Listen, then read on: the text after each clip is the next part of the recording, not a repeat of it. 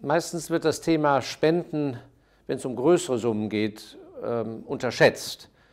Und die meisten Menschen, die sich mit dieser Thematik beschäftigen, denken sofort an eine Stiftung, dass sie eine Stiftung gründen müssen. Das ist auch gut, aber das erfordert äh, sehr viel bürokratischen Aufwand, juristische Beratung, ähm, die Ausschüttungsmodalitäten aus dem Kapital in einer Stiftung, das ist gar nicht so einfach. Von daher stellt sich immer die Frage, ob es nicht viel sinnvoller ist, zu spenden.